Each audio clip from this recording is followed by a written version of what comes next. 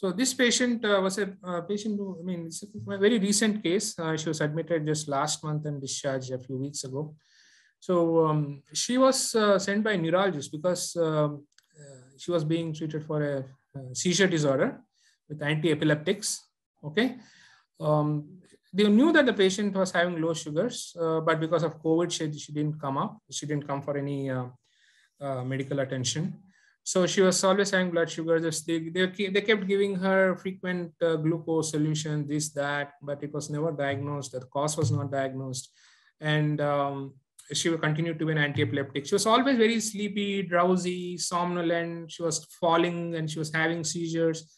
And it came to a point like she also started injuring herself. She had some laceration over the eyebrow when, when she fell. So the family was like, you know, we have to do something. So because she was falling, she was having seizures in spite of having, uh, even, even after taking anti-epileptics. And blood sugars were low. They were even aware of that, but they didn't do anything about it. Um, they're just giving her frequent uh, meals and, uh, you know, sugar, and that's it. So uh, referred from, um, from, a, from, a, from a neurophysician. Um, so she's not diabetic, okay? So um, hypoglycemia in a diabetic patient is very common. All of you know what causes hypoglycemia in a diabetic patient, but she was not, she was never a diabetic. So when she came in, her blood sugar was like like after admitting her within a few hours, her blood sugar was 30 milligrams. And um, immediately we got some lab tests done when the blood sugar, even before correcting the hypoglycemia. Very important that all of you must have diagnosed the case already. Yes, and I'm sure, and, and, and, and I tell you your diagnosis, your suspicion is correct turned out to be correct. So there is no, um, I should say, there is no puzzle or mystery here. Um, so we wanted to rule out uh, insulinoma. So, and the lab test should be done when the patient is hypoglycemic, not when the sugars are normal to get an accurate result. So when as soon as they found that the uh, blood sugar was less than 60 or so, that it was actually 30. So we got the insulin levels, C-peptide levels, and the random blood sugar level. We got all the three lab tests done. And um, and she needed to be kept on continuous 10% dextrose uh, infusion without any stop. Okay. In spite of that, she was developing hypoglycemia in, in, the, in, the, in, the, in, the, in the night time, right? Because in the night time they cannot feed her, isn't it? So, so it was so bad. So you can see the GR, uh, GRBS chart here. See, in spite of giving 10% dextrose, it was falling to 69, 80, 80, Mind you, this is on 10% dextrose. And see, you can see some of the, some in addition, we had to give her several times we had to give her 25% dextrose.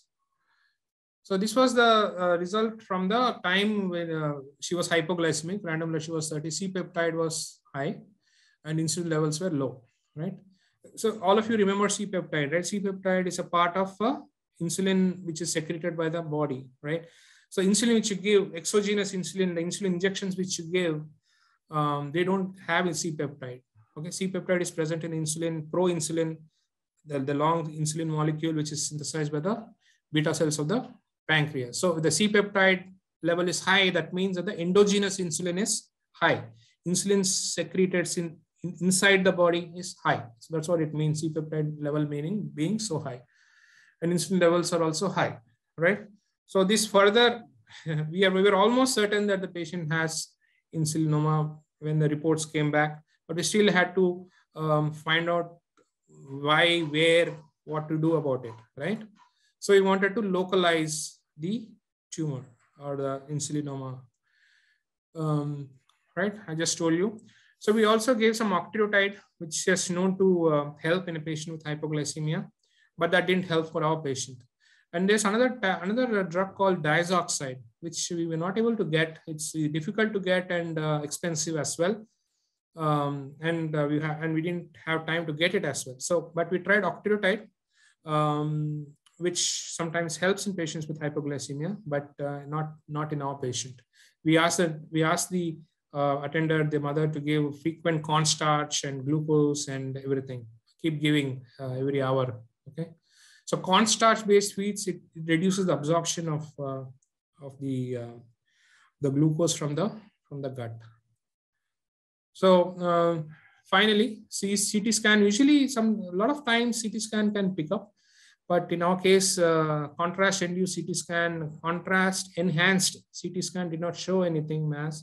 Uh, so we went for an endoscopic ultrasound and that revealed a mass, a 12 millimeter mass in the tail of the pancreas. Okay, 12 into 13 millimeter mass in the tail of the pancreas. And they were able to take FNAC of that, which uh, was suggestive of a NET or a non um, neuroendocrine tumor, sorry, neuroendocrine tumor. It's called as a FN, FNET, functional neuroendocrine tumor. Okay. And um, most of the neuroendocrine tumors, uh, functional neuroendocrine tumors are benign, right? Almost 90%. And only very rarely they are malignant. And most of them are single, right? Almost 90% of them, of them are single and benign. And very rarely they are multiple and, um, and malignant. Okay. It's a very rare disease, uh, supposed to um, uh, affect only three in 1 million people right? So it's very rare. And, uh, and the diagnosis is very much delayed in most of the patients because, because first of all, it's not suspected.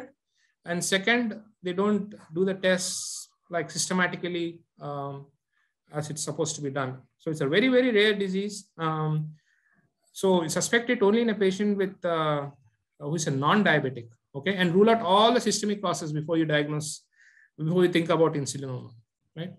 This is a special kind of PET scan which you do. This was not required, not mandatory in our patient because diagnosis was almost certain. But then um, they wanted to, at the time of surgery, they, I mean, the, the endocrinologist and the surgeon, this is, why don't we do it so that we can, we have evidence to say that it is, it is single and not multiple and it's also benign. So, uh, so this showed a, you can see that uh, here, um, enhancing, uh, enhancing um, nodule in the pancreas. So it's special kind, special kind of PET scan called as a dotatate scan that showed this nodule, and it also confirmed there was no other, there was no other um, metastasis or no other spread, or uh, and it was uh, unlikely to be cancerous. And to be 100% certain, again, we, we did some immunohistochemistry stains with the postoperative sample, right? Chromogranin, synaptophysin, so these are all histochemistry, immunohistochemistry thing. So um, within within three to four days, within three days, we got the diagnosis, and by fourth day, we were able to um, get get the get the problem fixed. We got the surgeon who did a uh, distal pancreatectomy, laparoscopic procedure, and it was successful with no complications. So we had to do both PET scan and surgery both at the same time, which was difficult to arrange and coordinate, but somehow luckily it happened because the next day was a Sunday. So, so after this, after the procedure, the hypoglycemic episode just just resolved, just like that. See, this was after surgery. You can see um, 8 a.m. and then you got 8:30 p.m. So in between, she was probably in ICU or a surgical ICU, right, or in operation theater. So she was getting 10% dextrose, 20% dextrose, and after after surgery in the evening, just see sugars have actually rebounded a little bit. So she doesn't need she doesn't need any dextrose anymore, right? So um, just just uh, just to discuss hypoglycemia, a few general uh, general issues with hypoglycemia. All of you know hypoglycemia and the Whipple's triad. All of you, do you remember Whipple's triad? Whipple's triad is number one, patient has simple symptoms of hypoglycemia, right? Number two, when you check the blood sugar, it is low. Number three, the symptoms of hypoglycemia disappear when when the when when you treat it with glucose right? So that is Whipple's triad and what are the, i'm not going too much deep into hypoglycemia because all of you know about it. So two kinds of symptoms we have in hypoglycemia. One is sympathomimetic symptoms. Next is neuroglycopenic symptoms right? Sympathomimetic symptoms is when you start um, having uh, shaking tremor sweating palpitations anxiety. All those are sympathomimetic symptoms and they're all um, helpful because immediately go and eat something or have some sugar or something. Um, but in an old patient who has, has recurrent hypoglycemia, they don't, they may not have those symptoms, sympathomimetic symptoms. So in those patients, neuroglycopenic symptoms are more common, um, where patient becomes uh, drowsy, um, altered sensorium, seizures, um, and sometimes even they may go into coma if they're not treated on time. So those are two kinds of symptoms which you have in um, hypoglycemia, and it should be, I mean, it's an emergency. All of you have seen patients with hypoglycemia who come to the emergency room and you give dextrose and you can see a, immediate uh, response. It's one of the very few conditions in medicine which has such a dramatic response is hypoglycemia, treatment of hypoglycemia, very satisfying. And other is when patient with opioid poisoning, when you give naloxone. So say some situations where you can see the dramatic response in front of your eyes. So always prevention is better than cure. So when, whenever you, you have a patient that, see our patient was a non-diabetic, okay? But, but, but most commonly you see hypoglycemia in patients with diabetes. So what are the causes of uh, hypoglycemia in diabetic patients? You're all aware, well aware. Too much of insulin and too less food, right? Too much of insulin on too little food, delaying or delay of meals, not taking enough, right? Recent increase in insulin, recent um, addition of sulfonylureas or other medications, notorious. Sulfonylureas are very notorious, right, to cause hypoglycemia. So try to minimize it in uh, elderly people. Uh, okay. So and, and patients who are prone for hypoglycemia. So those are common causes of hypoglycemia in diabetics. Not only those patients who develop acute kidney injury and liver liver failure, very common. So if you ask me what are the commonest causes of hypoglycemia in diabetic patients, I will say mismatch of food intake and insulin or hypo oral hypoglycemic agents. That is the commonest cause.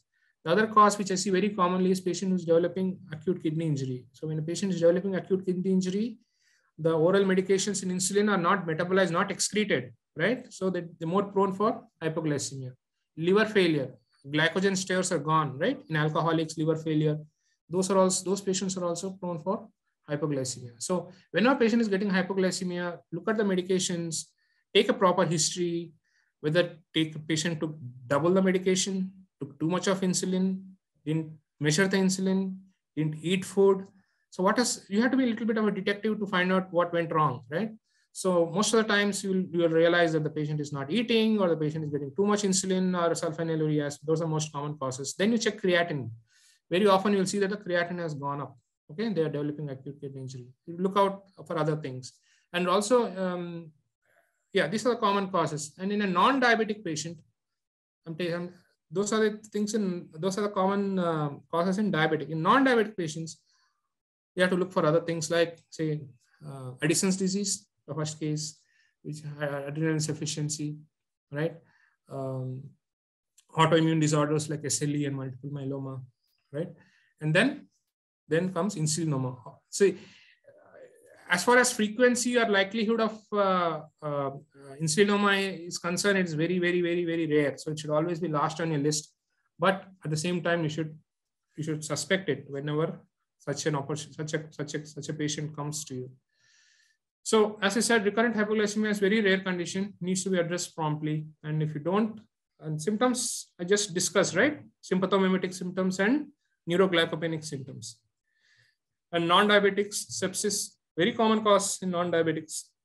Um, these, these people have multi-organ failure, renal failure, liver failure. Many of them are alcoholics. Right? Neuroendocrine tumors are very rare, but keep, keep it in the differential. So insulinoma is more common in the uh, in the entrance exams, NEET and NEET UG and NEET PG exams than in the real life. Okay. So uh, although I suspected it two, three times in the last uh, 20 years, the first time I've actually confirmed it uh, like this, right? So um, these are the other causes of, um, these are the way, I mean, differential diagnosis of hypoglycemia in a patient with, who doesn't have diabetes, non-diabetic patient. So um, these are some of the criteria by which you, by which you can uh, diagnose uh, insulinoma. The glucose level, insulin, C-peptide, proinsulin level being high, C-peptide high, okay. So the gold standard test is a 72 hour fasting glucose test right? You, you admit the patient, check the check the glucose every hour, and and and tell the sister that be ready to give 25% uh, dextrose or 10% dextrose if they develop hypoglycemia. So they should they should not waste any time. The, the 25% and 10% dextrose um, bottle should be lying by the side of the bed. Okay, so um, uh, it has to it has to be monitored closely. So most of the patients with insulinoma are diagnosed within 70, within 24 hours. In fact, they don't need 72 hours. Our patient, he, he she developed hypoglycemia within few hours after admission. So uh, for localization, you can do ultrasound, CT scan, MRI, and sometimes endoscopic ultrasound. Our patient needed an endoscopic ultrasound. Okay, endoscopic ultrasound with FNAC is highly sensitive and specific. And with negative imaging, sometimes you need to do a PET CT scan, a special kind of PET CT called dotatate scan to rule out metastasis, right? Um, our patient had that as well.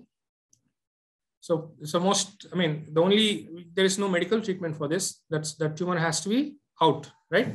So uh, get the surgeon to do a one of these procedures. So our, our patient had a, had a distal pancreatectomy, laparoscopic distal pancreatectomy, right? And those are other kind of procedures sometimes the patient may need depending on the site of the tumor, right?